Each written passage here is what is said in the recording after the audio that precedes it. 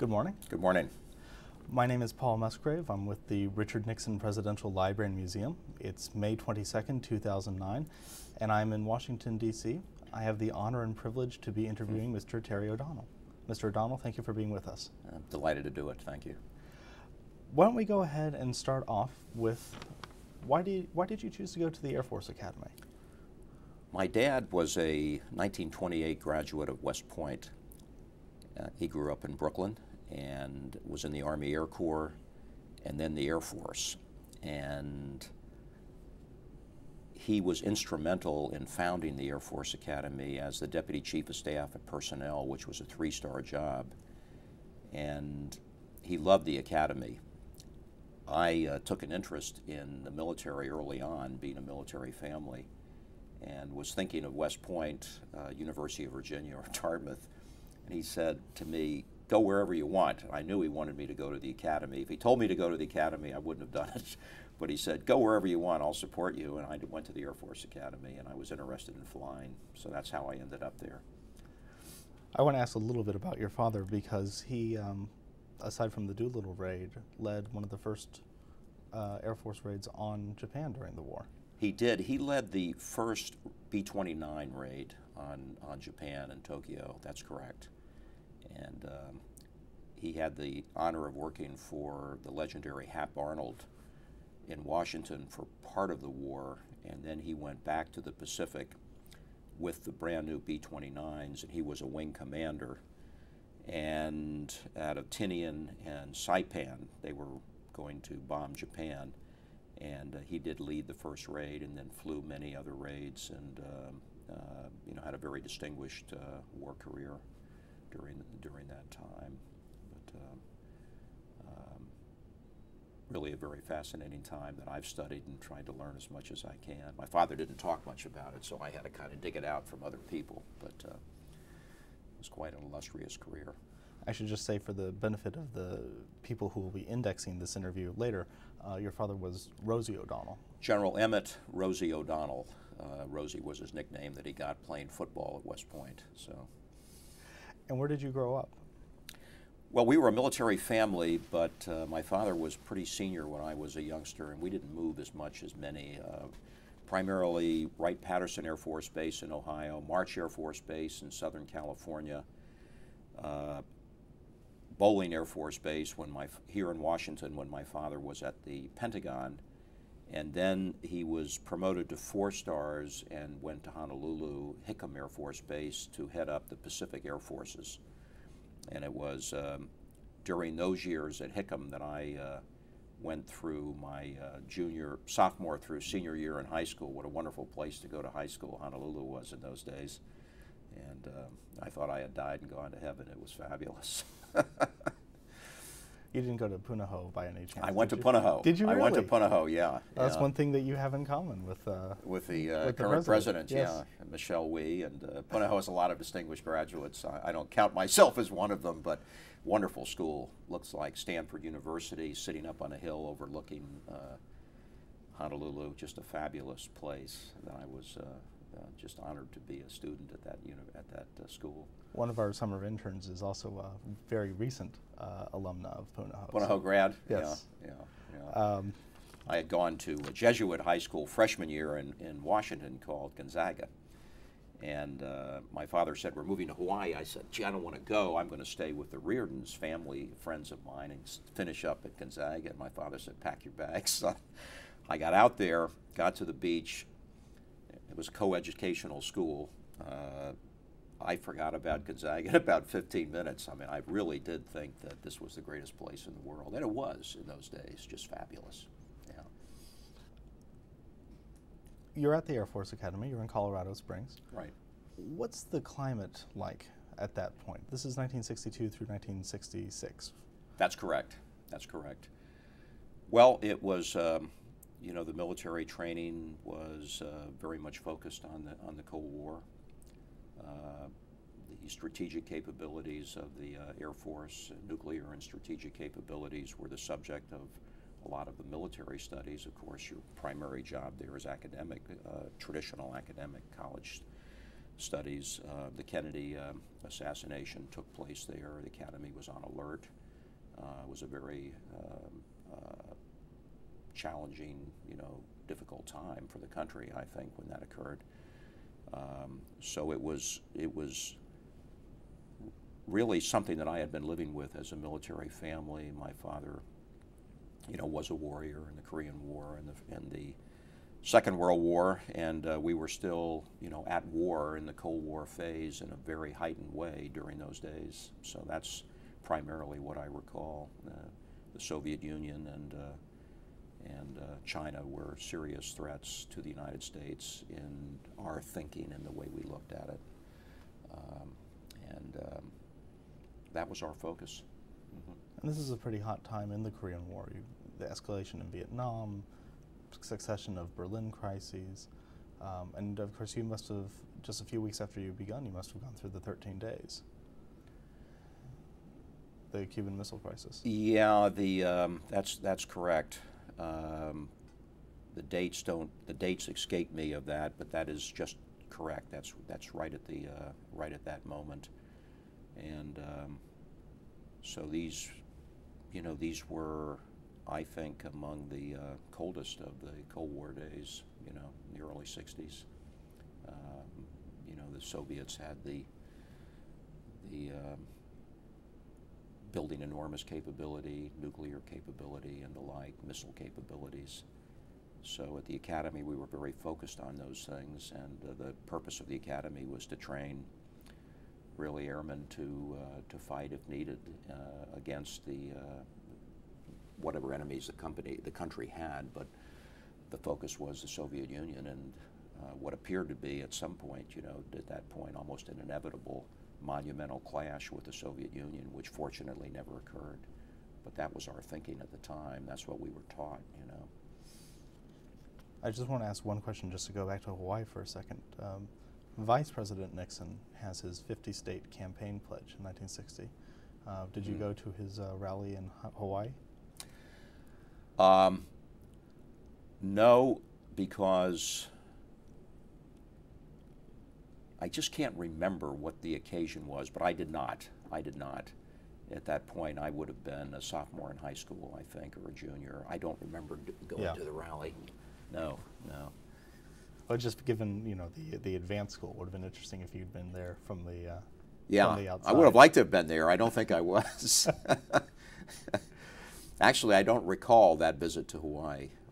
I think it's uh, just after the convention in '60. Um, just after, okay. Because okay. he kind of bookends it. I think it's Hawaii and Alaska because he has to make the trip to Alaska right before Election Day. Oh yeah. To get right. the 50th to get state the 50th in. state, yeah. His um, campaign managers probably would have him focus on another state at that time, but Illinois, Texas. Yeah, yeah, right, right, right, right. Any of the other ones uh, at that point, I believe. Mm-hmm. You come out of the Air Force Academy, um, and uh, you go to law school. You're going to become a JAG officer. Right. You go to Georgetown Law. Um, when you come out, what's your first assignment? Well, as I said, I wanted to fly. Uh, when I graduated from the academy, I could not pass the flight physical. My eyes had gone downhill over the four years, and I was roughly 2100 vision. That's not good enough. And um, so they had a great legal department at the Air Force Academy and two mandatory courses. I took three or four courses. I was interested in the law and uh, got to Georgetown in the night school with OSI, Office of Special Investigations, in Washington being my, uh, my permanent assignment. So I started out as a, uh, an Office of Special Investigations agent, uh, ultimately in the counterintelligence area is where I wanted to be, and that's where I was when I went to Vietnam and served running uh, counterintelligence operations for the Air Force. And then when I completed Georgetown after a Vietnam assignment, then I went into JAG as a judge advocate officer. What was the Vietnam service like? Uh, it was a long year. I uh, we ran source nets with indigenous Vietnamese population around all of the Air Force installations to gather intelligence on when the uh, the Viet Cong would um, come within proximity of the base, either with 122 uh, rockets or sapper attacks. They were always attempting to attack the uh, aircraft on the runways, on the air bases. And um, so, you know, you gather so much information. It's a perilous business intelligence because you get a lot of misinformation. The Army's, Army and Marine Corps had to go out to the villages to react to this information if we thought it was good enough and interdict the effort that was taking place there. Um, so it was, uh, you know, it was a, it was a long year, and I traveled constantly within Vietnam to all the air bases because our source networks were run out of each base. You mentioned uh, off camera, we were talking earlier, uh, that you were sent over as a JAG officer to the, uh, the CLC, the Cost of, Living Commission, um, because you're not quite a lawyer yet. Yeah, right. I had uh, graduated from law school in 71, uh, June of 71, and taken the bar in July. You don't get, didn't get the results in those days to about November and uh, December, I believe. And I'm not sure when the Cost of Living Council was started, but as I recall it, the Air Force DOD was asked to send 50 lawyers. The Air Force got an allotment, and they said, well, we'll send O'Donnell because uh, we get credit for sending a lawyer, but he's not a member of the bar yet. He's waiting for his bar results. So I went over to the Cost of Living Council and, uh, you know, started work there. It was a very interesting uh, assignment. Well, I want to talk about this a little bit because the CLC was not only high profile, uh, but incredibly important. This is almost an American foray into central uh, planning of the economy. Right, right. What was it like to be, you know, a junior member, but you know, a part of this? Well, it was always uh, puzzling to me because at the time I was much more aware and interested in, in politics, and uh, I had majored in political science and international affairs at the Air Force Academy. Even though everyone has to has to be a bachelor of science, we have to take all the math and science. So I was interested in these things, and I was taken back that uh, President Nixon found that this would be the best way to address the economic situation um, because it uh, did not seem to be something that was in, in accord with uh, either you know his history or his uh, pronouncements in the past or traditional Republican outlook toward the economy. So I was surprised, you know, when when it was set up. I was uh, put into a group that was dealing with uh, price control initiatives in uh, entertainment and hotels. And um, ultimately, McKinsey Group was involved at the time, as I recall, providing guidance to us because I, I you know, had no expertise in hotels, but I participated in writing regulations uh, involving price, uh, hotel prices, and uh, things of that nature which is a little scary because I knew so little about it. But uh, you know, we got we worked hard at what we were doing and tried to be fair and uh, accomplish the mission of the organization uh, at that time. I think anyone who knows the federal government will appreciate that you had to turn to private consultants to manage the economy. Right, right, uh, right, right. Well, you, you, when you think about it, you're starting an agency out of uh, whole cloth with no history and uh, to pursue something that this country had not done for a long, long time. I mean, you know, I, I, don't know when, but maybe back in the Second World War there were certain initiatives along those lines. But um, so there was really no no expertise in doing these things, and you had to start this agency, get up, get regulations and policies out there, and and, and begin to enforce them. And uh, so it was a daunting task It was interesting to be a small cog in that effort to see how it uh, unfolded. Well, you also had a vantage point of people who were big cogs in the effort and would later become, you know, a part of your life, a part of your career. Yes, indeed. Yeah, yeah. I uh, met uh, Don Rumsfeld and uh, Dick Cheney uh, during those years. I was at, at very low in the organization uh, hierarchy, if you will, and therefore I didn't have any any substantial contact with them, but I met them. I knew who they were, and I, you know, uh, had an opportunity to exchange some comments with them. And uh, uh Dick Cheney attended some meetings that I was in at one point, so I have a recollection of that, but uh, no close relationship during that period of time. Do you remember anything that was particularly striking uh, from setting hotel prices? Just how difficult it was because uh, during the process we met with uh, people who really knew the hotel business, hotel proprietors, owners, hotel corporations, and um, they, uh, what one might think would be not too difficult to do, because a hotel is a hotel after all, suddenly, when, as you become educated, and this is so true in so many things in life, you find that it's not simple at all. It's hugely complex, and there are many, many moving pieces. And I, I remember just becoming frustrated at the effort that how could anyone, a government entity, purport to do this and, and to given the complexity of the economy and this industry, how could they purport to uh, deal with these issues? And um, uh, so that was my takeaway: is probably not a good thing to do in the long run. you know, is to have uh, that kind of government involvement in in, in industry. Uh, and uh, guess what? Here we are again. you know, with the auto industry and the banks and you know serious government involvement in, in private industry. We've interviewed uh, Vice President Cheney and Secretary Rumsfeld and also uh, Arnie Weber, um, who takes over, I think, in phase three of the of the CLC. And right. uh, Professor Weber told us a story about setting prices for candy and how they were surprised to find that you had to have a different price for Halloween. Yeah. I mean, I didn't know that. but I, I do think um, it just becomes so complex, and the, and then the challenge to be fair and equitable, uh, because I don't think government really should be picking winners in, in, an industry and losers by its regulation and by its policy. And it became very daunting task to try to be fair and equitable, uh, given all the different types of hotels, the different interests, the geography, uh, the motel business, the hotel business.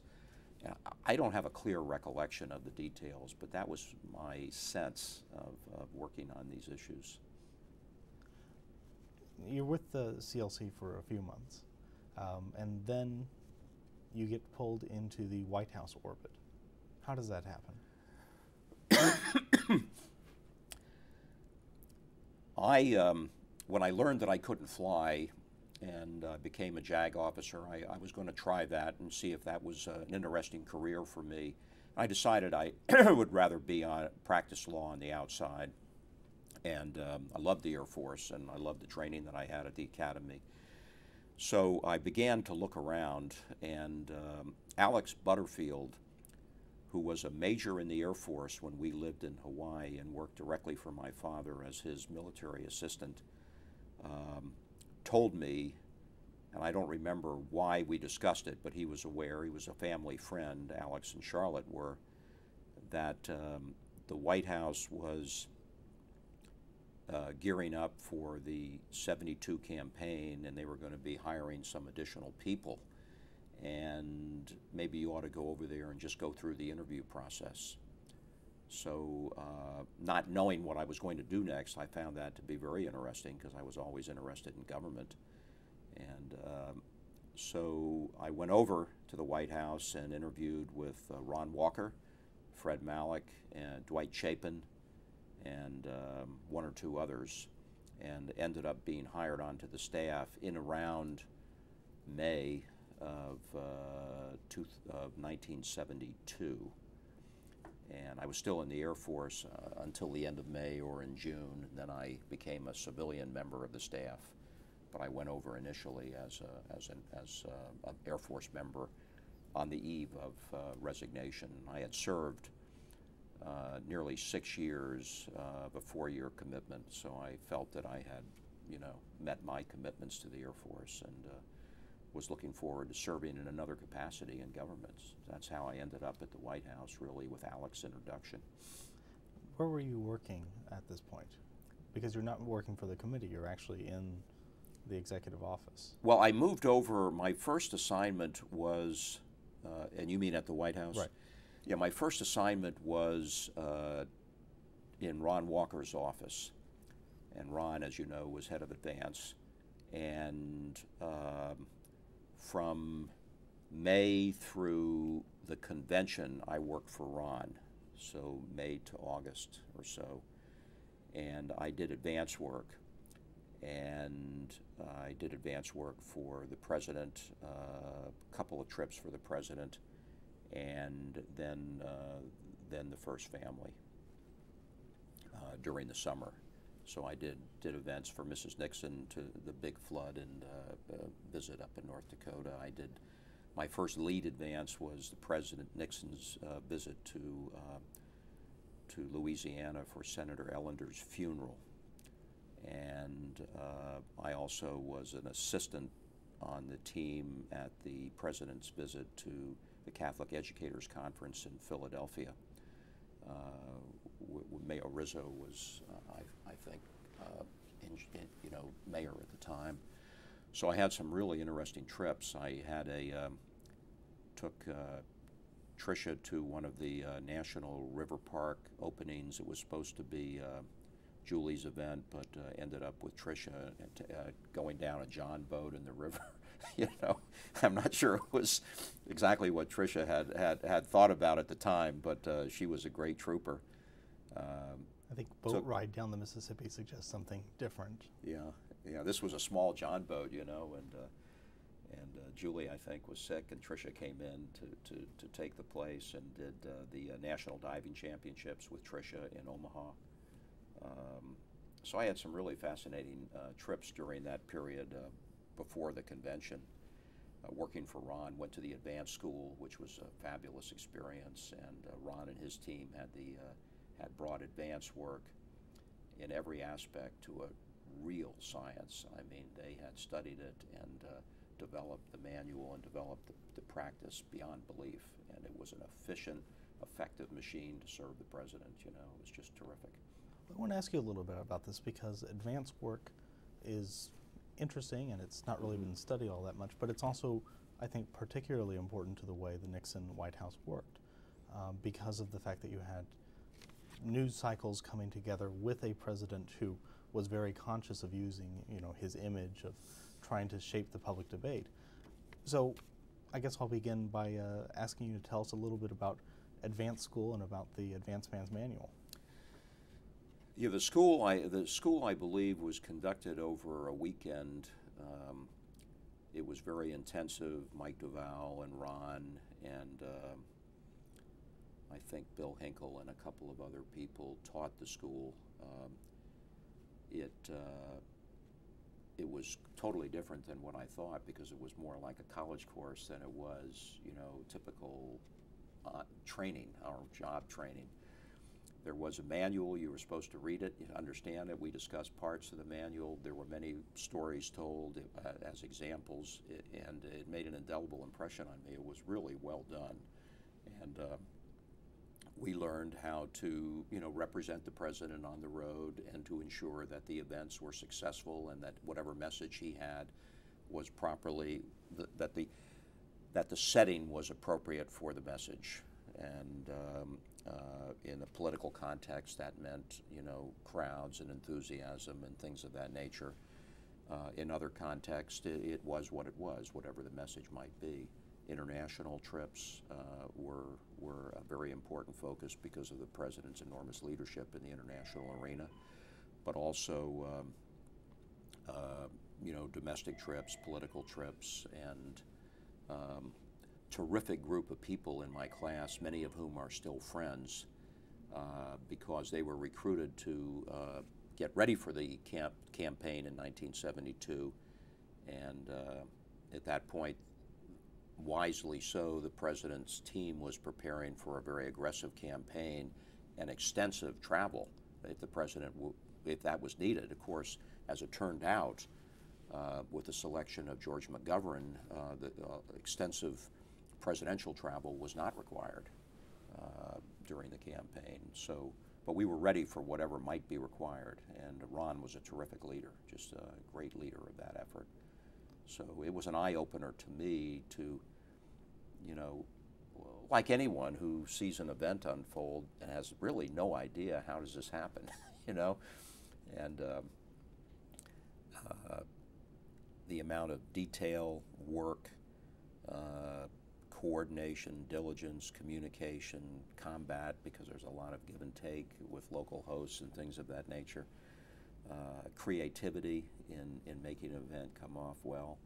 Um, it was an extraordinary thing. And of course, there was a long legacy of excellence around uh, Richard Nixon in this area, going back, you know, to uh, Bob Haldeman and uh, and John Ehrlichman, and um, so many of the uh, of the of the people who who were so successful in substantive areas for President Nixon later had their beginning in the, uh, you know, in the advance arena, and you learn an awful lot in going out and putting, making an event happen in a week uh, on the road, foreign or domestic, and so it was a great training area. I, I really enjoyed doing the work. Um, I'm curious. I mean, we've we've talked to you know Ron Walker and Red Cavaney. Yeah, no, it's, it's fine. Um, we've talked to a, a, number of advancemen, and it's it's one thing to advance an international trip or a summit or a campaign stop. It must be something else to advance a funeral. Yes, I mean you have to tailor all of. Of course, you're not doing any crowd raising and things of that nature, and you and you you have to tailor it to uh, to to the um, to the occasion so that the president's attendance and communi- you know his message whatever it might be if it's just paying respect to a to an uh, you know a former senator with an, an you know outstanding record of service to the country that was the mission there and so we had to design everything to do that so one uh, you can't think about these things without telling one quick story it was supposed to be exceedingly dignified and uh, appropriate to the occasion and uh, Homer Luther, who was an advanced man um, and, a wonderful guy, lives out in Wyoming, uh, was working for me on that advance, and he had Governor and Mrs. Edwards. And we had been taught that you keep them away from the backwash of the helicopter. And um, I had met the president at the airport and was on the helicopter. And the helicopter, Homer wanted to have them at the ramp of the helicopter just on time. So he's there and he's ready to push them out, but he's, you know, the, there's too much. So he finds says now, now, and so he goes and he calls it a little too early, and there's still quite a backlash of, of helicopter, of uh, wind from the helicopter, and um, uh, Mrs. Edwards' uh, skirt flies up, and just the thing you don't want to do. And I was mortified. Homer was mortified, and uh, you know nothing escaped Bob Haldeman's vision, and he looks at that and you know, takes mental note. And I heard about it later. this was, this is not the way we do things. You know, this was a funeral. This was, and and, uh, but. Uh, uh, in any event, the rest of it was very good. the rest of it was quite appropriate. But um, did you ever get a Haldeman memo? He had a, the famous uh, TL squared. Uh, I saw a lot of those, but I don't believe I was ever the subject of one of those. I mean, I did work for him for that period of intervening period of time, but um, uh, no, I mean the every administration since President Nixon's has has endeavored to has learned from that advance uh, operation because they really discovered it and built it to to the state that it was uh, a science and an art and everybody else is trying to do that in one form or another. And you have to, because it's a complex world out there, and as a president moves around, things have got to be done right, or a candidate. Otherwise, it becomes an enormous embarrassment. I'm thinking that it's ironic that so many of the men who went through the Ron Walker Advanced School in 72, preparing for what people thought might be a really arduous campaign, ended up applying those, in, those lessons in 76. Yes, Yes, indeed. Yes, indeed. No. Uh, well, you know, the amazing thing about the Nixon administration was that it uh, it was a uh, huge development pool for talent. I mean, uh, I think you, whatever anyone wants to say about the administration, you have to acknowledge that it was it, it provided a talent pool that served this country well for decades after uh, the administration and the term ended. And um, you know, the Ford administration was was uh, you know rich with talent that came from the Nixon administration. So was the Reagan administration, and so were the Bush administrations. Both. I mean, so it was a. Uh, they had a very detailed process to develop that talent. It didn't happen by mistake, you know, and it was the president's call to establish that process and the strong White House personnel, recruiting efforts and the like, and they did a terrific job. The president did a great job, I think, in identifying qualified people to serve, you know, in the cabinet cabinet level and on down. And I can't leave a, a discussion of this without touching on one issue, and I'm just thinking back to Red Cavaney. Did they uh, did did Ron's briefing at any point touch on the dangers of hot air of balloon drops? Oh, we had a uh, quite a. Uh, I don't know whether it was a full chapter, but it was a very important area, balloon drops, and and how to do them properly and uh, how not to do them and the like. And um, nothing was left unaddressed in that advanced school. yeah. But uh, we've seen uh, balloon flops and we've seen balloon drops, and there's a big difference, you know. And, and uh, but rallies, I mean, foreign advances were very, very challenging, but big political rallies were the best. I mean, I think that's what advanced men kind of really enjoyed doing. That's where all the creativity came in. You know, the bands and and and all of the setting to get to get the people in the right mood for whatever the president was going to say or the candidate's going to say, and uh, to make it a noteworthy event that the press would take note of and say, you know, and it would reflect people's views. You just couldn't pump it up out of nothing. I mean, but uh, there were people who were very, very enthusiastic, but you've got to get them there so people can see that because it sends such a message. And of course, things were so different then because you didn't have, you know, the cable stations, and you didn't have, uh, you know, the instantaneous loop of news that you have now. So, you know, you had a story coming out of a day. Things were much easier and more defined. I think today's even more challenging in many respects because it's an endless loop. We didn't really live under that those circumstances. Well, I'm thinking about because I think 2008 has set a new mold in some respects. The way the Obama campaign had internet, you know, two-way internet connection with some of its most enthusiastic and vocal supporters, Right, right. was a new development. It's a very new development. I mean, there've been a lot of new developments in, in the electronic age since uh, since our time with uh, with President Nixon. But uh, the people who master those uh, skills and technologies are, are the people who, who have a huge leg up. And uh, to the Obama campaign's credit, they did a terrific job of using electronic media, you know, for political campaign purposes, fundraising purposes. I mean, they were hugely successful in that area.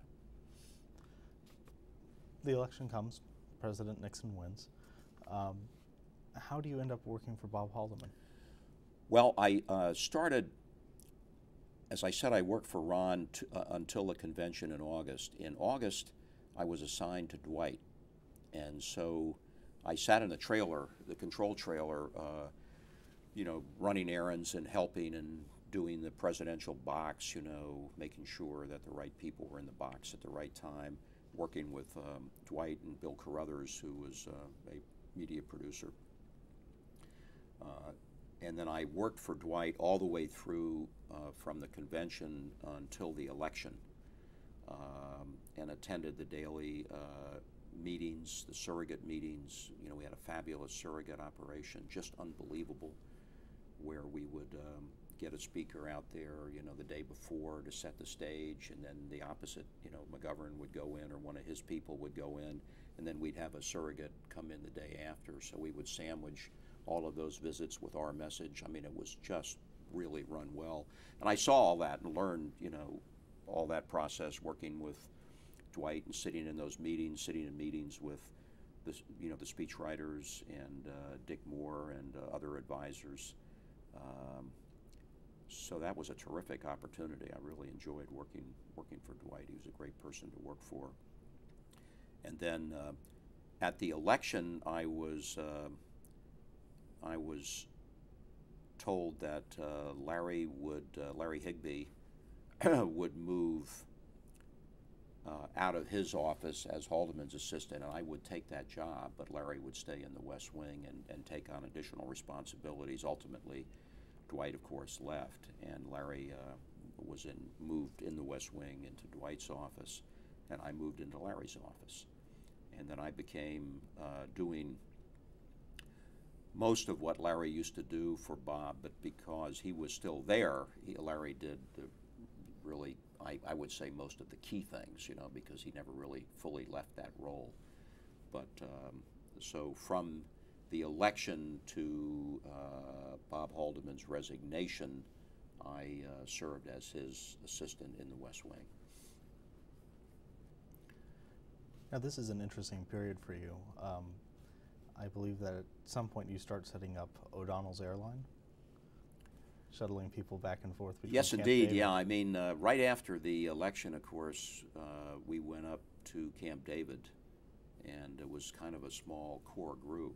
You know, Tod Hullin was with with John Ehrlichman, Larry and I were with Bob, and then um, a couple of people, a couple of other people, military aide, and uh, and uh, Ron Ziegler, and um, just a handful of people were up there. And the president had uh, asked for everyone's resignation uh, across across the government, and he began to consider restructuring his uh, cabinet and senior positions, and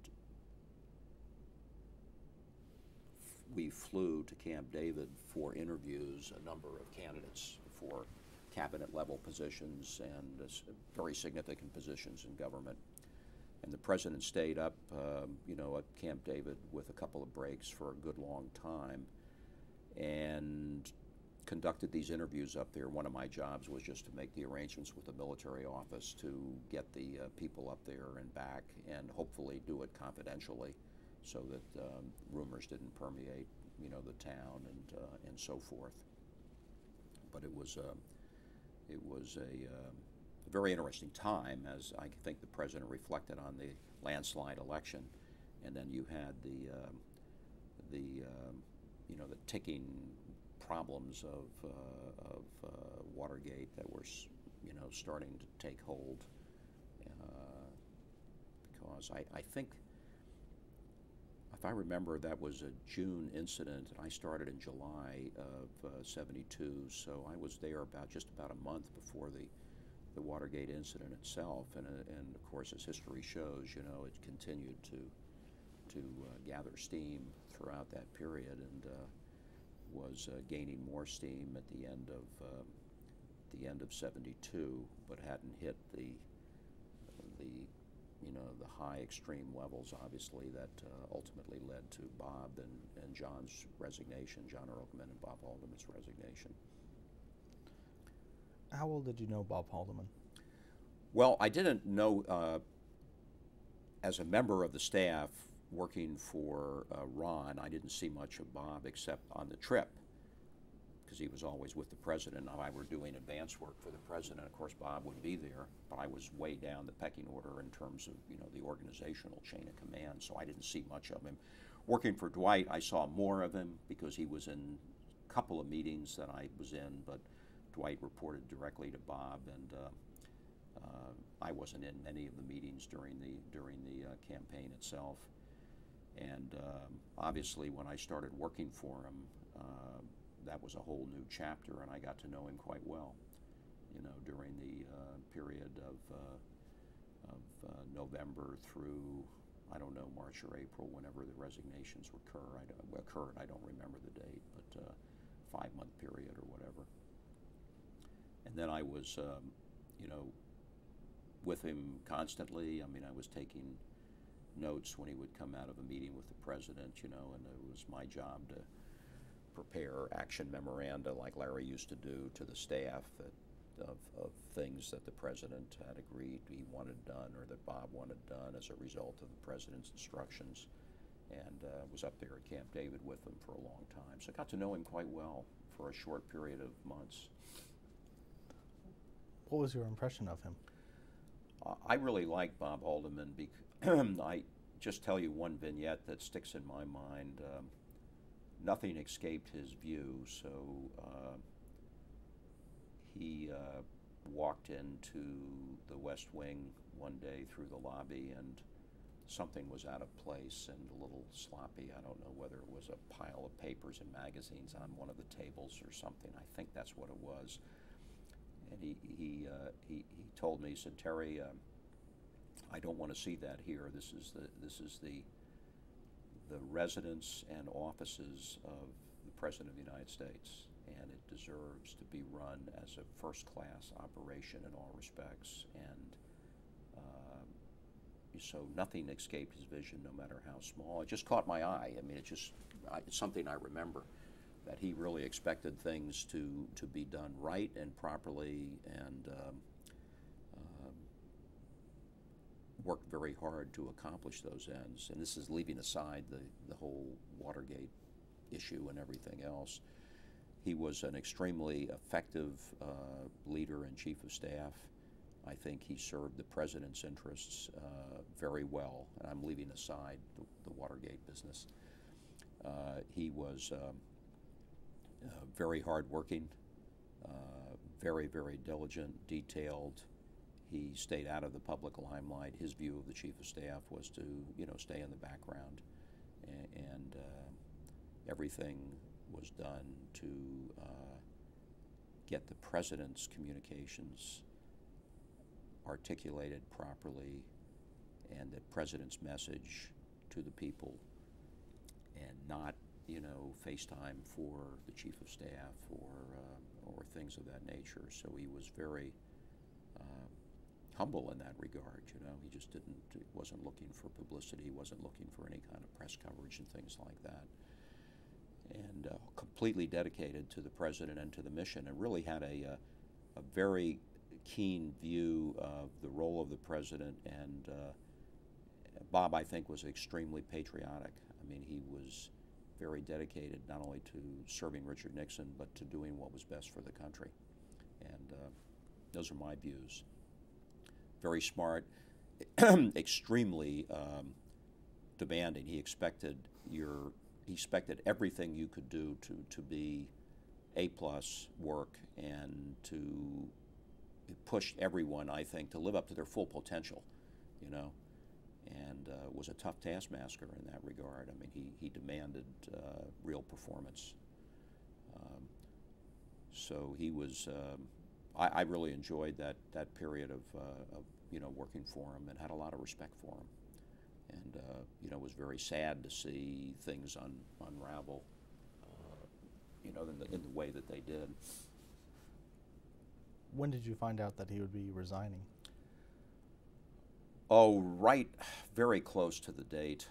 Um, I think, if I recall correctly, he called me in and you know said that um, that uh, this was going to be the uh, the best thing to do under the circumstances. And, but I didn't know because that loop of communications about Bob had his own lawyer, who I know he was meeting with from time to time, and the loop of communications relating to the investigation and uh, the uh, Watergate issues were were not part of our routine conversation. It was not things that he routinely would share with me, and. Uh, you know, he might ask me to set up an appointment with his lawyer or something like that. But but what happened within those meetings, he kept to his kept to himself. Um, so it was a you know it was a very tough time I think on the on the staff because everybody coming off this landslide election, everybody uh, was very upbeat about that, but this thing just kept ticking and would not go away, you know.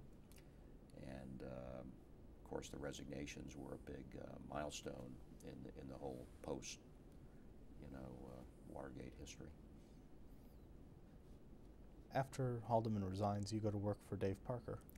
Yes, I did. Um, uh, General Haig came in and uh, he told me that uh, he said, Terry, I, I think you, uh, I've looked into you. You come from a good military family, so I'm going to keep you here on the staff, which was a relief because you didn't want to leave the White House as a, as a lawyer and start knocking on the, on the door of a law firm in the middle of the Watergate uh, situation. It was not a good time to, to leave the White House, so I was delighted that uh, he would keep me on the staff.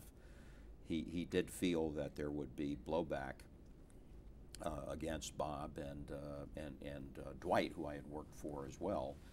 So he said, I'm going to keep you on the staff, but I'm going to, uh, to send you over to the uh, EOB and, uh, you know, work for Dave. So um, I worked for Dave from that point until the resignation of the president in August of 1974. So that was um, April of 73 to August of 74. I worked for Dave. And at this point, you're a special assistant, staff assistant? Yeah, I was a, um, a staff assistant to the president, and then I think a deputy special assistant to the president working for Dave, if I if I'm not if if, if I recall correctly, and then I became. Uh, special assistant to the president uh, when I took um, the uh, the job with President Ford. And we've talked to Dave Parker, um, mm-hmm. and so he's described his office and the way that worked. Uh, what was it like for you? What did you see when you were, you know, trying to decide what appearances, what invitations the president would accept? Yeah, it was a. Um, our work uh, never stopped because the correspondence and the invitations and the planning never stopped, but the, uh, the amount of travel and the amount of events that the president did was moderated by circumstances. So uh, we would lay out, our job was to lay out very uh, detailed options, work with the cabinet members and their assistants and White House staff to tie together whatever the message was, domestic or foreign policy, that he was trying to communicate with appropriate events uh, around the country or internationally, and then provide that menu uh, to uh, the president so he could select what, what if anything, he would, he, he would want to do. And of course, that would all go through um, the Chief of Staff's office. So um, Dave also was a terrific guy. He's a very good friend, and it was a wonderful guy to work with, and um, he's had a great career uh, outside of the White House, you know, and still and, uh, is really a leader in the association community in Washington and, and nationally. I mean, he's terrific. Well, one of the other legacies of the Nixon administration is that I think at some point there were something like two dozen association leaders who were Nixon veterans. Right, right, yeah. Not surprising. I mean, there were a lot of, there's an awful lot of talent, as I said before, yeah.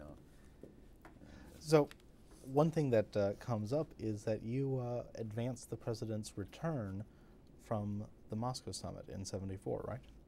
The Loring, Maine. Yes, I did. I, I went up and uh, I worked on that, even though I was in Dave's office. I did that that trip, and I did a uh, trip to the thumb of Michigan uh, which was a uh, motorcade through the thumb of Michigan on behalf of a, a, fellow by the name of, I think, Sparling, who, who was a staff member and, and candidate for Congress up there, Republican candidate for Congress. So I went out on a couple of uh, advances, even though you know I was not working at the advance office any longer. Hmm. But I did do the uh, the rally there to welcome the president back from the uh, from the trip. Uh, yeah. When do you first meet Jerry Ford? I um, met President Ford the day after he took the oath. Uh, General Haig, things were quite chaotic, as you can imagine.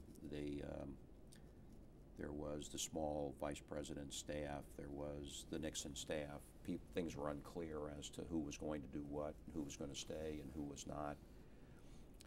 Uh, right after the uh, the oath taking, there was a meeting in the uh, Roosevelt Room with senior staff. Uh, you may have heard about this, but um, you had the senior staff from uh, vice president's staff and the senior Nixon staff there, and uh, everybody was in somewhat of a state of uh, shock, really, over what had happened in the last 24 hours, and uh, great uncertainty, and uh, very solemn, sober, and um, the, so the group is gathering, and in bounces Tom Korologos, and he looks around the room, and he says, uh, "Hey, you Nixon guys, you're in serious trouble." Of course, he was he was the arch typical Nixon guy. He broke the room up, cut, you know, just uh, broke the ice, and uh, Tom was fabulous at doing that kind of a thing. I mean, it was a great comment.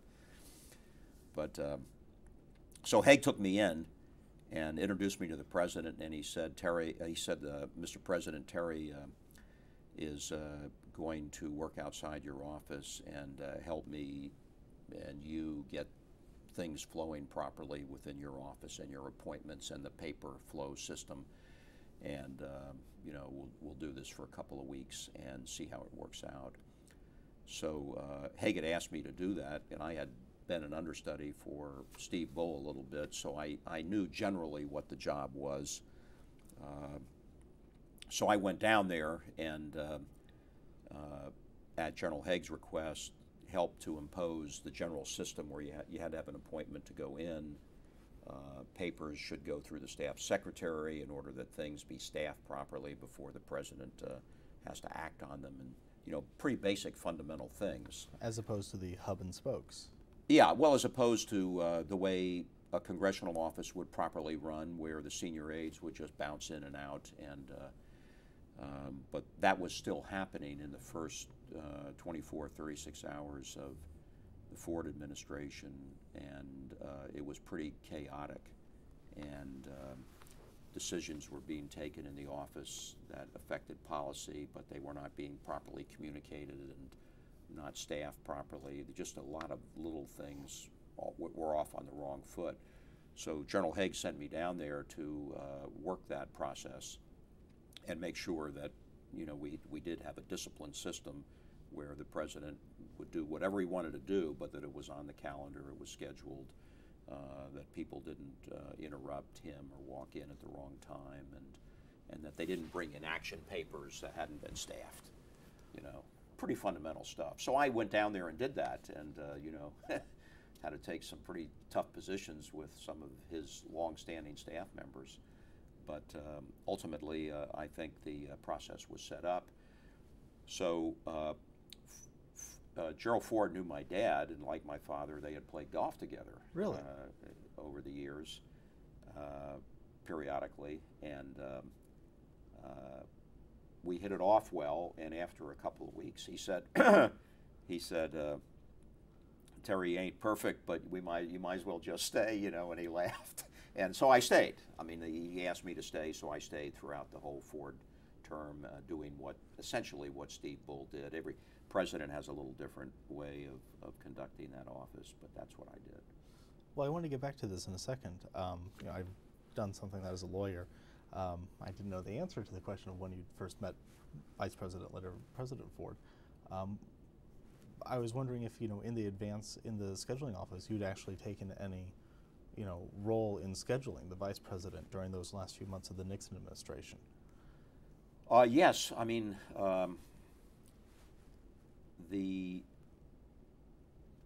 the vice president, Vice President Ford, was asked to to do a lot of things during that period of time, which is typical because you get uh, you get very important invitations for the president of the United States that he can't do, and you ask the vice president to or a cabinet member. So we were in very close touch with his office about doing official events and uh, and other events during that period of time and um, but I I really had no personal contact with him. I mean, I had met him, I had said hello, but I, I, had no personal contact during that period of time. I wasn't an advisor. I wasn't in his office in meetings or things of that nature. So the first time I really met him for all practical purposes, was when General Haig took me in uh, the day after he took the oath and said, uh, Terry's going to help you sit outside your office and uh, uh, we'll see how it works for a couple of weeks. So that's. Where were you when President Nixon resigned? I was in the East Room.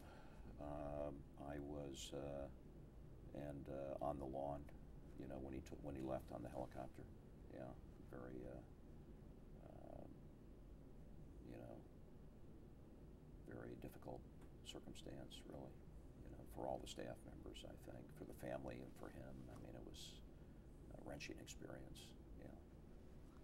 One question I haven't asked is that um, you're unique on the White House staff in that you actually had a family member. Um, only you and the Nixons had family members working in the White House. Yeah, we did. I didn't know how unique it was, but my brother Patrick, who was uh, uh, a special assistant to the chairman of the Federal Communications Commission, uh, came over to the White House before I did and worked for Chuck Colson. And um, so he was on the Colson staff, uh, and then I come in later. So we did have uh, brothers on the staff. I guess it is kind of unusual, really, to see that happen, but uh, yeah. I think the Nixon administration had more O'Donnells working for it than Kennedy. Yeah, yeah, probably so. Yeah, probably so. But um, so I, um, uh, you know, those. If I look back on the five years that I spent at the White House, I mean, I wouldn't have traded them for anything. They were a fabulous uh, experience and. Um, two very different administrations, two different approaches, um, and being in the special assistant job, this personal aide job to President Ford, uh, was an extraordinary uh, experience because you're with him really more than anybody. With him first thing in the morning, you see him off from the office 8 or 9 o'clock at night, whatever time he goes back to the residence, and you're in and out of the office all day long. And um, handling little things for him. I had no policy role at all, but bringing in the papers and interrupting them when there was an important national security event or, or an important call and things of that nature. Traveling everywhere he went, except Camp David when he was just there on the weekends. I didn't go, but every single political foreign trip, Vladivostok and the Helsinki Accords and and so forth. So. Uh, I understood what you know Steve Bull had told me about that that being the most remarkable job in the world for a young, you know, young young person, and uh, was really a great experience. Well, I think since that time they seem to get a little bit younger with each administration. I think by W. Bush it was a 24, 25 year old who had that. Uh, yeah, I one think of Jenna's uh, ex-boyfriends, if I recall. Yeah, that's right. I think. Uh, I don't know, I must have been 28 or 29 when I took that job or something like that. And, What uh, was it like? With Ford? Yeah. Oh, it was a great job. I mean, you know, um, uh, you um, it was extremely challenging because you had to bring arrange all the internal events, you know, and the Rose Garden events, and keep things on track. Introduce him, you know, when he would go out to a Rose Garden event, uh, oftentimes, or bring people into the office, ceremonial events, you'd have to introduce him to the right people, get all these names straight in your mind instantaneously. Uh, the assassination, you know, was right on his shoulder at both assassination attempts uh, in California. You know, so it was an extraordinary uh, couple of uh, couple of years. He was a very fine man to work work with, a man that grew enormously uh, uh, throughout his uh, tenure as president, and I think would have been a superb second-term president had he been elected, and that was a very close election courageous guy, I think, made the right decision on the pardon, you know, which uh, took great political heat for doing, but it was no absolutely the right thing to do. I found it fascinating that the Kennedy uh, Award should come to uh, Ford for uh, making profile and courage for making that decision to pardon Richard Nixon, but it would have been horribly bad for the for the country had he not done that. I think, and had that that lingered, and it, it would have been a terrible precedent and a very bad thing. He made some, uh, President Ford made some bad political decisions uh, from time to time, although he may have been right on the policy issues. you know, the, the, Russian, the Soviet grain embargo, things of that nature, which cost him conservative support. Um, but really was uh, dedicated to uh, to uh, the country and a real patriot in the way he approached the hi- the job. Uh, very honest and uh, you know very high integrity uh, gentleman.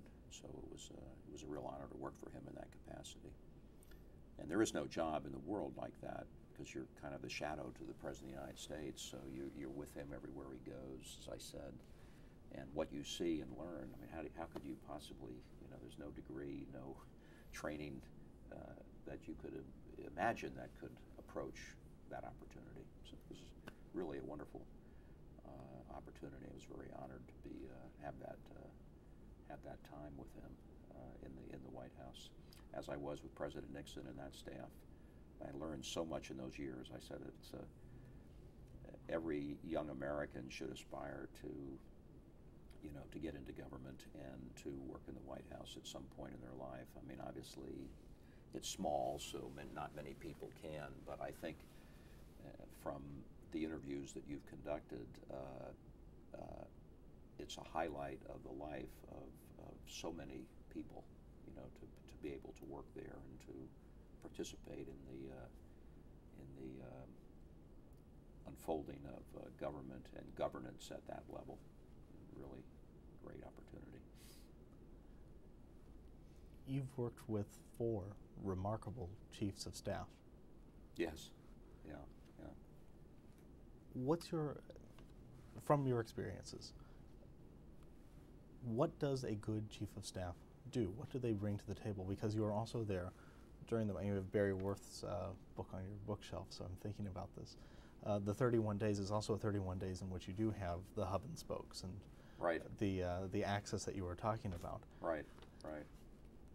When the Ford administration began reestablishing order, you know, how did the role of chief of staff evolve there? And, and then again, more generally, what does a good chief of staff bring to the table? You know, after the election, uh, uh, when Carter was elected, but before the end of the administration, we had a dinner, and um, Red and I we presented uh, Don Rumsfeld with this uh, bicycle wheel. Uh, Red may have told you this with this mangled bicycle wheel with the spokes all going this way and that way. and we presented it to Don as the you know the, the spokes of the wheel uh, management theory, and Don took great offense at that in a humorous way because he said that wasn't my doing, you know, and, and uh, but uh,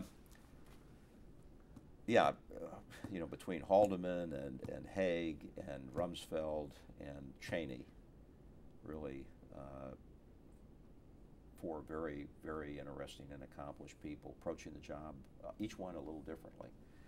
But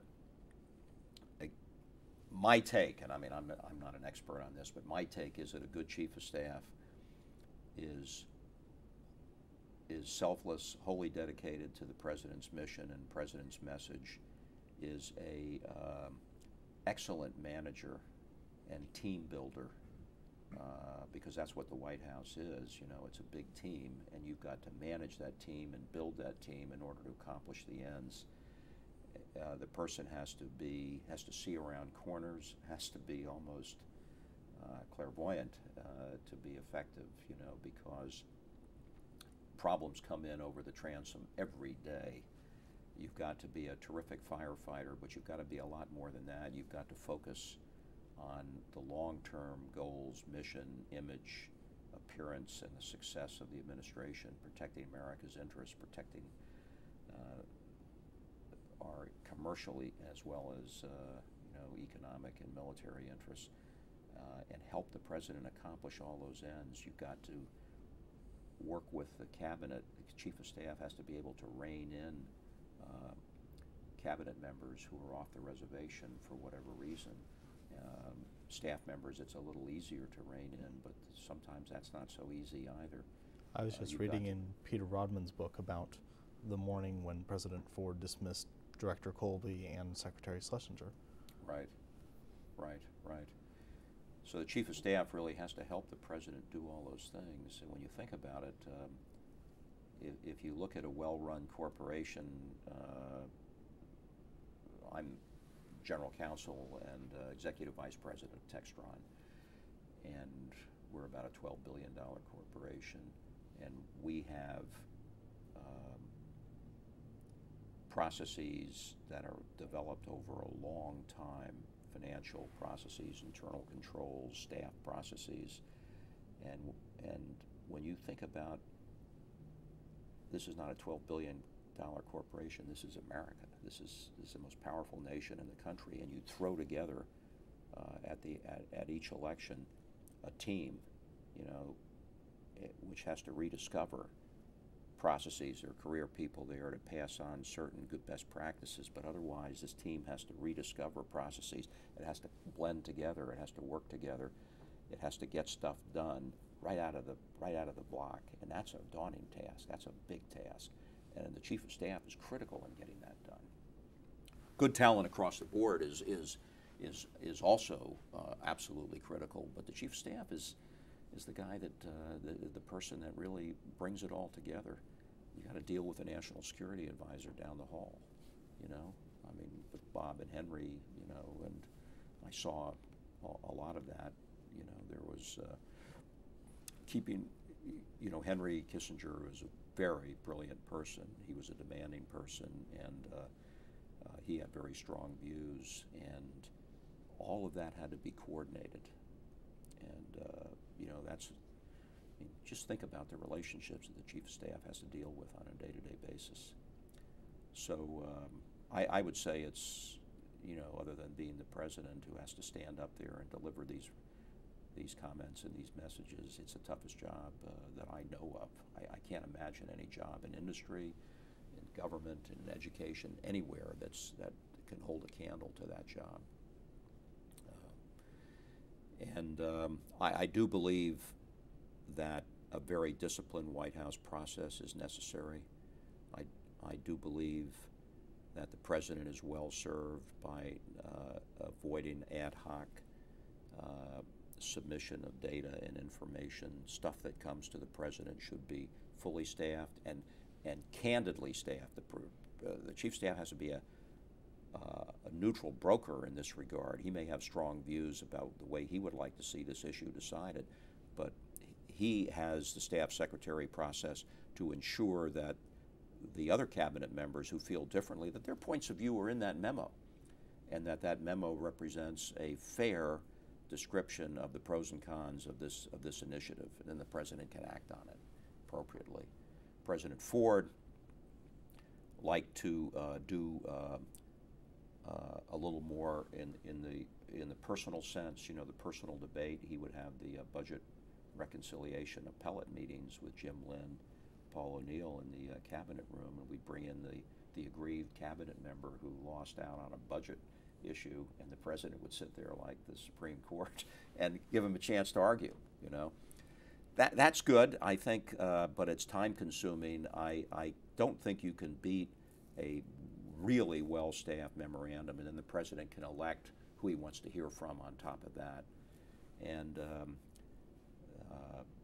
that process to produce that kind of work product, it, it isn't easy.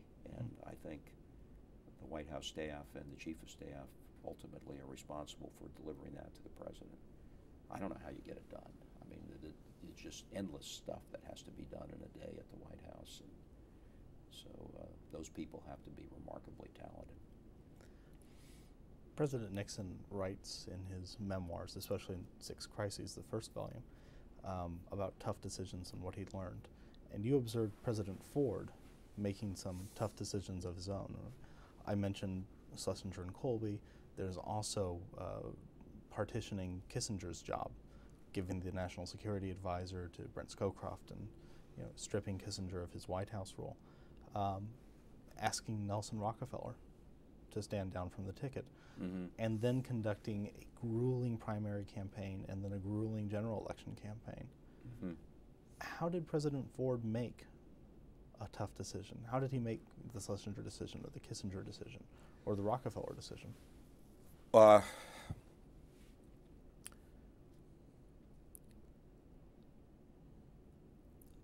yeah, those are th- those are really quite different decisions, but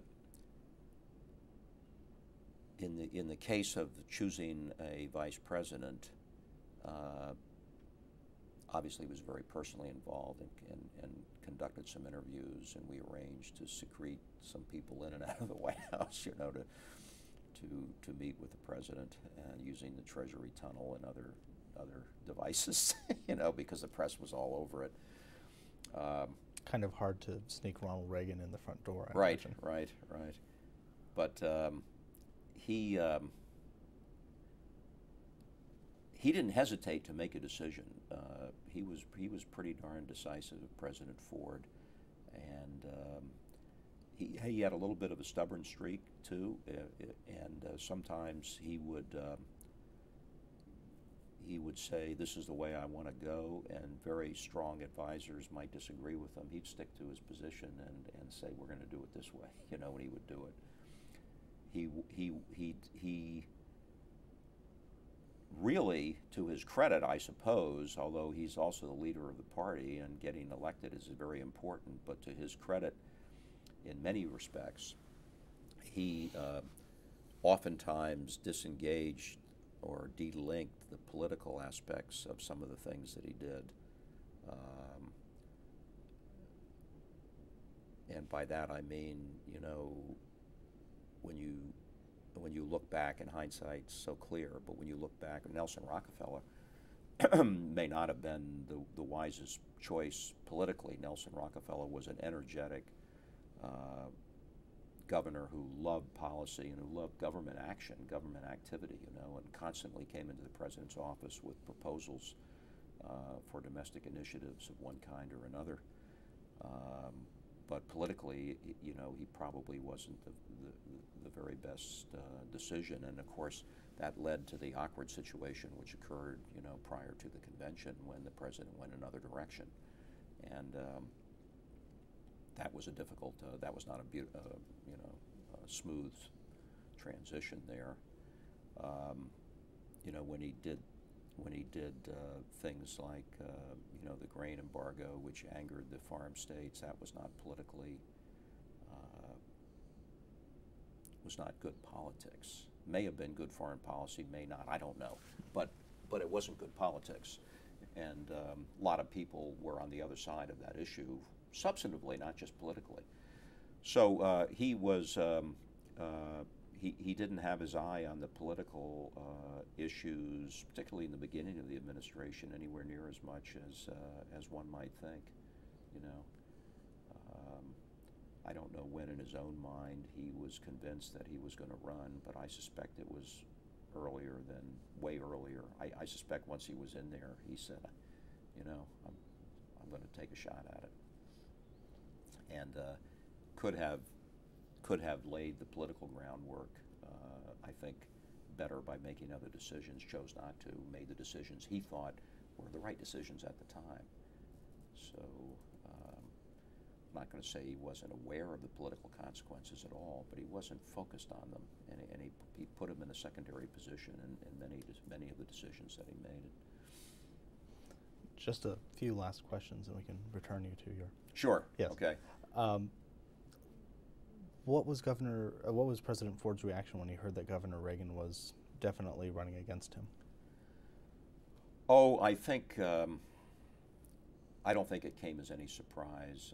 I, I uh, despite some of the things that have been written, uh, I think it was pretty apparent to him that Governor might, Governor Reagan might well run. Uh, he was. Um, uh, his view was um, you know, he thought he was doing a good job as president, and he thought he could earn that nomination, and so he would win. Uh, he was concerned about the, about having a uh, very divisive fight within the party, uh, but not worried about it in the sense that he thought it could heal, at least initially, and it never really did heal. I, I think that's um, that uh, was one of the factors in the election in, in 1976 is that I think uh, the split that occurred and that, that rousing convention, you know, I mean, half the delegates there were for Ronald Reagan and they were they were loud and they were going to be heard from, you know, I mean, it was that close, was almost 50-50 there. So I, I think that um, it did not mend as quickly as, as possible, and there are a lot of reasons for that. Uh, but um, uh, I think that he was aware that it was costing him in September and October the, the lack of really hard charging, enthusiastic support from the, the co- more conservative wing of the party was an anchor to him, and he was aware of that and tried to address it. But you know, it was a it was a pretty hard fought campaign. Sometimes it takes time. You don't have enough time for the party to come back together again. Sometimes it comes right back. You know, it's hard to say why. But um, Right at 76, the Republicans fracture a little bit, but 2008, the Democrats seem to come back yeah, they did in a very similar situation. They did. They did. I think. Um, I think the uh, the opponents got on board. I think the Reagan, the conservative movement, had very deep belief. Does is based on very deep beliefs, and I consider myself a conservative. You know, I I think. Uh, there was distrust from the conservative movement in certain respects for President Ford for a number of things that uh, that uh, we talked about, the grain embargo, Henry Kissinger, and some of his initiatives. Mrs. Ford was very outspoken, and president, mm, you know, encouraged her outspokenness. He did not try to to restrain or, or muzzle her. So there was distrust on the uh, on the conservative side toward Ford, and that did uh, cost him uh, some support. Could have made a difference, maybe not. Who knows? Uh, when the election day came, and uh, uh, I think on, in the Obama case here, the the opponents in the in the primaries came together pretty effectively, you know, and. So I think there was a much quicker healing. Remember, initially the Hillary troops, you know, were pretty darn mad, and they weren't going to. And then, but she led them to that conclusion, and it came together, you know, and um, so fascinating, isn't it? You were I, I you were almost always at the president's side. Um, President Ford has two assassination attempts. right. What are those like? Yeah, they were um, uh, remarkable. One, uh, the uh, first, uh, we were on our way to a meeting with uh, Jerry Brown in uh, Sacramento at the Capitol, and we were working a crowd line, and um, there's an agent immediately in front. There's a rope and barrels on the left, agent in front, agent on the side, agent behind him. I mean, shoulder to shoulder, and then I'm between the two agents, the side and the and the back, and president can't accept anything. So I get envelopes and gifts and I put them in my briefcase so that they're all responded to properly and so forth. And then I'm keeping my eye on the clock and watching when I need to pull them away from the line to get them to the meeting. And I saw this uh, woman with strange eyes. I can still blink and see those eyes. And she was uh, just back in the second uh, level behind the ropes and barrels. It was Squeaky Fromme from the Manson family. And uh, I, I locked on her because she was uh, she was uh, a frightening image. I mean, she was really bizarre. And next thing I know, her hand's coming up. Larry Buendorf grabbed the gun and cut his hand. Came up with such force. Gun shout, you know, gun, collapsed the president on the ground. All clear. Got up and double time the rest of the way. You know, we double time right into the uh, Capitol. President did this, walked right into the meeting room on that floor, sat and said hello to the governor and his staff and sat down. The governor didn't know what had happened. And then one of his staff members came in and whispered to the governor, and the governor nearly turned white. He said, God, are you okay, Mr. President? and, you know, it was just like that. I mean, it was unbelievable. And the Secret Service said, you, you know, you're not going to go back to Northern California. Uh, the president said, no, we're going back. And so it was just a month later, give or take, that we were in San Francisco and Sarah Jane Moore. I had ridden down the elevator from the speech in the hotel, told the president that the agent said, go straight to your car because there was a lot of demonstrators out there. Don't work the, the lines uh, just outside the hotel. No security threat. I mean, just mean crowd there in, northern, in San Francisco. And so we're walking out the door, and I saw the flash of the gun across the street, and you can see the quick photos. I'm ducking, and then and then the agents start to collapse him. The bullet went right over my shoulder and hit the hotel wall. and they collapse the president, throw him into the car like a log, and jump in on top of him, and the mo- motorcade peels out of town. And you know, I didn't have warm feelings about Northern California as a result of those two incidents. I'll tell you. Or uh, I'm I'm interviewing James Falk on Tuesday, and he had the famous quote about San Francisco. is. Oh yeah. the, the coup ca- coup capital of yeah, uh, yeah, yeah. So Probably uh, didn't help with the uh, with the election up there.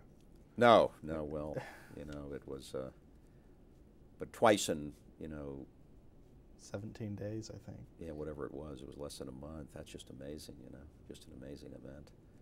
But uh, yeah, I saw those.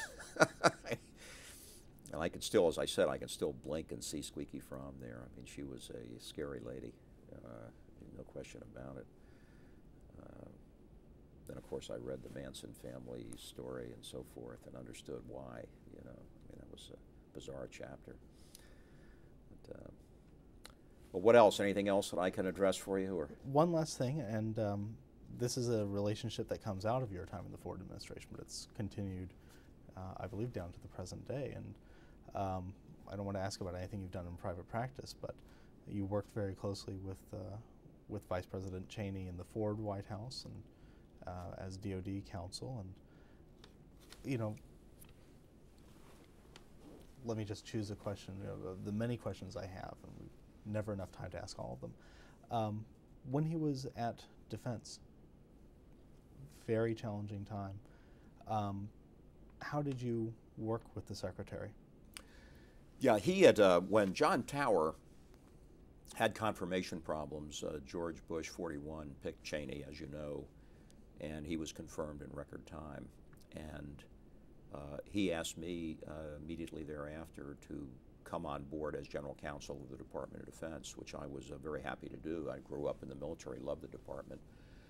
And um, it is, by the way, the best legal job in government. I'd take it over Attorney General. It is a fabulous job because the Department of Defense is global and it's so complicated. It has more lawyers than the Department of Justice. And um, so uh, I um, uh, was uh, his legal advisor uh, as well as head of the legal services for the department. And, um, you know, attended, the, I was on his uh, um, little steering committee with the uh, with the service secretaries, and I attended, uh, um, you know, many many of the critical meetings uh, leading up to the Gulf War and so forth with him, and advised him on international law and and day to day legal issues of the department. Uh, fortunately, there were not huge numbers that I needed to bring to the secretary because you have the deputy secretary, and then I could resolve an awful lot of stuff on my own. And uh, so we had a great working relationship during that period of time. I, I found him to be an extraordinarily effective um, Secretary of Defense, and uh, I think his uh, stewardship of the uh, first Gulf War and you know the Panama incursion and some of the other things that occurred during that time to be uh, flawless, really, in their execution. Um, he um, he had so much experience when he took that job from the White House, uh, from his private endeavors, and from the congressional leadership position that he had been in. That I think he was well suited to be Secretary of Defense, and he understood international and global things quite well. So uh, he he was very good and a great client. I mean, he always I had complete access. He would always listen. May not always agree with me, but uh, uh, and use me as a sounding board on non-legal, uh, you know, policy issues and non-legal things whenever he felt like doing it. Always learning, always great appetite for learning. On Saturdays, we would have these seminars that. Uh, um, Scooter Libby would uh, and Paul Wolfowitz would do, where we would have professors from, uh, you know, maybe a couple of CIA specialists in one area and a couple of guys from academia would come in, and we'd have a, sem- uh, a seminar and discussion on a Saturday morning, and I got to attend some of those. They were terrific. You know that he would devote his Saturday just to stepping back and looking at a big issue, uh, whether it's the Middle East or whether it's you know developments in China, the Soviet, you know, military, uh, whatever, and of course the wall. you know, came down during that period of time. Um, so he, he, he was um, A plus secretary, really good to work with. Is there anything that you'd like to put on the record that we haven't covered? No, I don't think so. I mean, I, um, I, I, I'm so fortunate to have worked in the, uh, in, for President Nixon way down, way down the staff, but to be a member of that staff, I have such a high regard for uh, the staff members who, who worked for him, uh, from Bob Haldeman on down. Uh, they were a very effective, uh, diligent group, and they did great things for America. And unfortunately, you know, the Watergate thing uh, has, uh, and I think maybe even more history will help to separate these things, but Watergate has become such a huge theme in the eyes of, of a couple of generations of Americans that uh, it has clouded uh, an awful lot of the accomplishments uh, of, of the Nixon administration.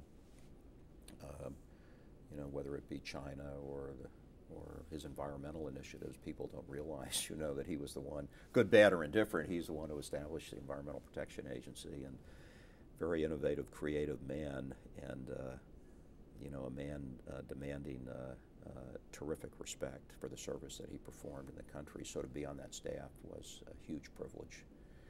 Um, so I think that's it. I mean, that's all I would. That's all I would have to say. Mr. O'Donnell, thank you very much. You're welcome. You're welcome.